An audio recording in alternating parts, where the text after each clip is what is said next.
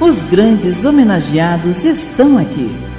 No Limiar das Estrelas. Apresentação: Ceira Oliveira. Clélia Soares da Rocha. Nasceu em 18 de outubro de 1886 em Barra Mansa, Rio de Janeiro. Desencarnou em 16 de fevereiro de 1936, em Barra Mansa, Rio de Janeiro.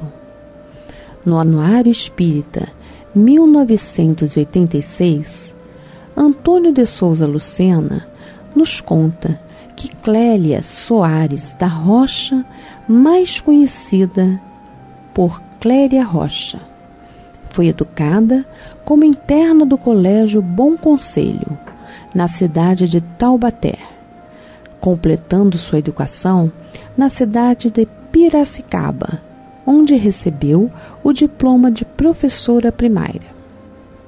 Lecionou durante vários anos no Colégio das Freiras, da cidade de São Carlos. De família tradicionalmente católica, Clélia Rocha logo demonstrou repugnância pelos dogmas da religião de seus pais o que aconteceu logo em sua primeira infância, originando-lhe sérios castigos no colégio interno, onde passou a ser considerada criança rebelde. Em Piracicaba, ainda quando estudante, conheceu um jovem médico com quem acertou o casamento. Entretanto, o rapaz desencarnou repentinamente frustrando todo o seu sonho, e ela nunca mais pensou no casamento, dedicando toda a sua vida ao magistério e ao amparo da criança órfã e desvalida. Um dia, deliberou abrir um estabelecimento de ensino na cidade de Dourados para a alfabetização de adultos que não tivessem condições de frequentar aulas no período diurno, mantendo-o por algum tempo e fornecendo gratuitamente o material de ensino para todos aqueles que não o pudessem adquirir. Nessa época, a grande missionária Anália Franco fez uma visita à cidade e vendo o sacrifício inenarrável pelo qual passava a jovem professora, convidou-a a fazer parte da sua equipe de trabalho, prontificando-se a ajudá-la no que fosse possível. Dessa época em diante, tornaram-se grandes amigas e mútuas colaboradoras. Fundaram uma creche para as mães pobres daquela redondeza e um abrigo para órfãos. Anália Franco depositava irrestrita confiança no trabalho de Clélia Rocha.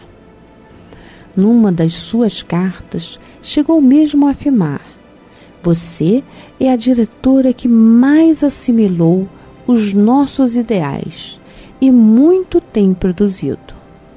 Se todas as demais cooperadoras fizessem como você, muito realizaríamos. Em fins de 1918, Anália Franco fundou um asilo na cidade de Uberaba, em Minas Gerais, e convidou Clélia Rocha para ser sua diretora. Logo após, no dia 13 de janeiro de 1919, Anália desencarnou em São Paulo, não podendo concretizar a obra.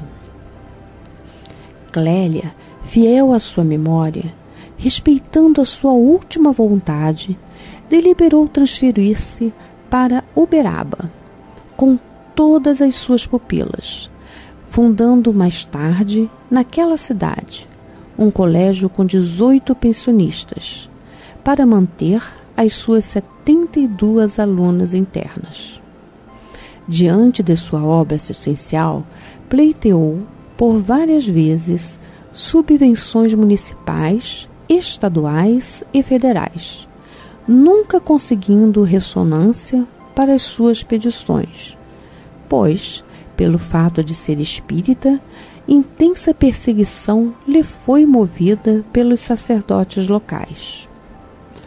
Fiel à memória de Anália Franco, tudo fez para que os ideais por ela esposados fossem mantidos em toda a sua plenitude, conduzindo-se sempre com verdadeiro espírito de abnegação e sacrifício, atestando sempre a sua grandeza espiritual. Fundou com suas pupilas, maiores de 16 anos, a Liga Feminina Operárias do Bem, objetivando a formação de novas equipes cooperadoras. Em 1924, transferiu-se para a cidade de São Manuel, onde conheceu rico fazendeiro da região, espírito bem formado e coração generoso, que, conhecendo suas grandes dificuldades, resolveu ajudá-la, fazendo a doação de um prédio e parte de seu terreno para que ali pudesse instalar o seu estabelecimento educacional. Fundou a creche Berço de Ouro, destinada a receber criancinhas, era espírita fervorosa e muito interessada pelos assuntos doutrinários. Na intimidade, era chamada Mãe Lili. Fundou o jornal literário Lírio Branco e o Mensageiro do Órfão. Cléria Rocha foi, portanto, missionária na verdadeira acepção da palavra. Por tudo isso, pela sua vida, Clélia Soares da Rocha está no limiar das estrelas. Você ouviu pela Rádio Rio de Janeiro, No Limiar das Estrelas. Apresentação: Ceíra Oliveira.